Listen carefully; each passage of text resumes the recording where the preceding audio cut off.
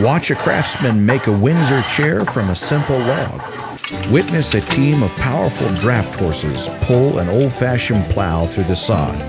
Experience the sights and sounds of a potter molding and pulling the clay upward to form something of beauty from simple mud.